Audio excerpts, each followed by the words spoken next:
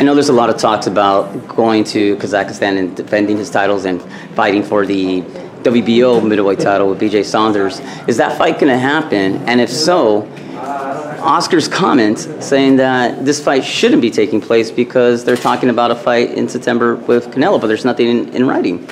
Yeah, we, we don't have a, a signed deal with uh, Golden Boy, unfortunately, for, for a Canelo fight. It's hard to you know, base Gennady's career on, on a fight that uh, hasn't even been uh, been agreed to yet. At the same time, if there's a way we can uh, make it happen, then we'll certainly uh, try to uh, put that fight together.